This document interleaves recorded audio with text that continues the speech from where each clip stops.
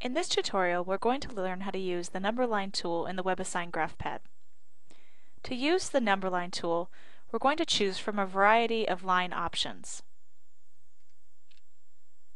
The three options you see in the line tool are first, align segment, second, a line going in both directions, and third, array, which has a point on one end and an arrow on the other end. The other option we're going to use to graph inequalities on a number line is to choose the type of endpoint we'd like. We have two choices. We have a closed circle and an open circle.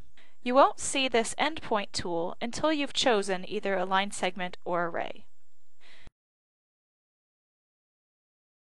There are several different ways to express an inequality, and so in your problem you might see any one of the following which represent the same thing. x is greater than 3.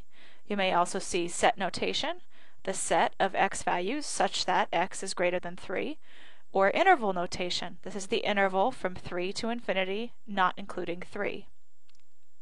All three of these mean the same thing, and there are two ways that these can be graphed. You may see this graphed on a number line with the parentheses on the 3, and then array continuing on to the right. You may also see this graph with an open circle at 3, an array continuing to the right. It's the second method that we use in the WebAssign GraphPad. To graph this particular array, we would first choose the ray option, and then we would choose an open circle for the endpoint. Notice that the only difference between the inequality x is greater than 3 and the inequality x is greater than or equal to 3 when we graph is a parentheses versus a bracket in an open circle endpoint versus a closed circle endpoint. To graph both of these, we start with the ray option and then choose the appropriate endpoint. Let's see this in action. Let's graph the inequality x such that x is less than or equal to 0. We're going to choose the ray option, start with the endpoint, which is at 0, and then we want to choose the x values that are less than or equal to 0. Now to get this to stick, we have to put a point somewhere to the left of 0. It doesn't matter where you stick that point. If you click outside of the line, you can see its final form, which is array at 0 continuing to the left.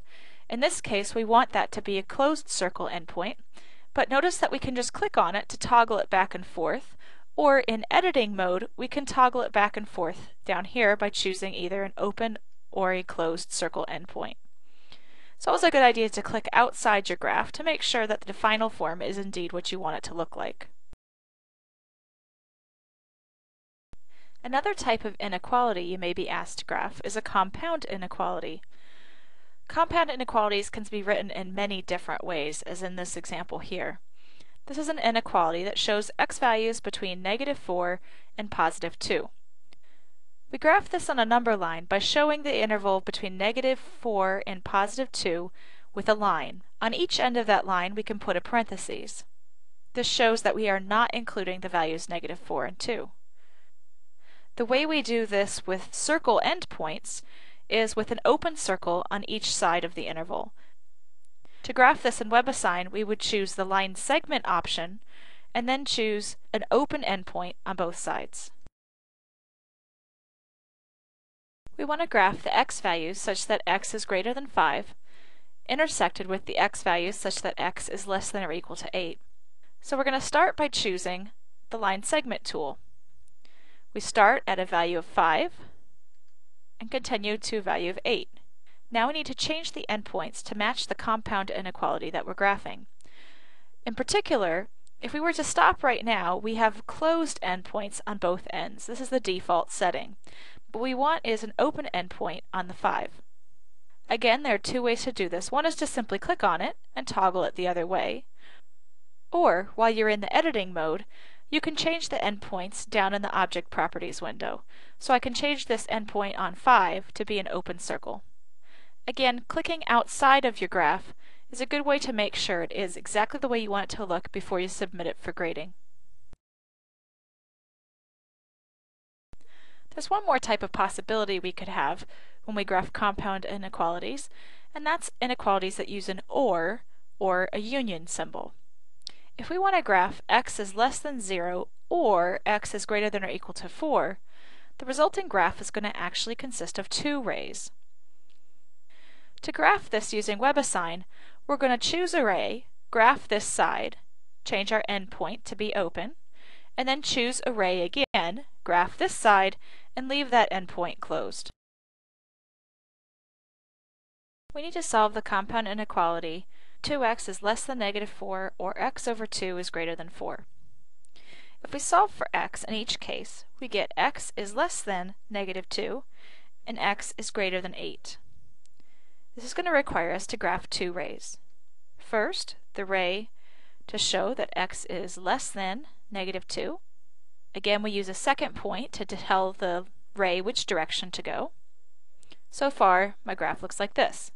Now I do need an open circle on that, so I'm just going to click once to toggle an open circle. And that's what it looks like now. That's only half the graph. I need another ray to graph x is greater than 8. Again, clicking a second point to tell the ray which direction to go. And again, I need to click on the closed circle to toggle that to an open circle endpoint. And now this graph is ready to be submitted. Let's look at one more example. In this case, when we solve the second inequality, we get x is less than 3. And so we have two inequalities to put together. x is greater than 0, which looks like this,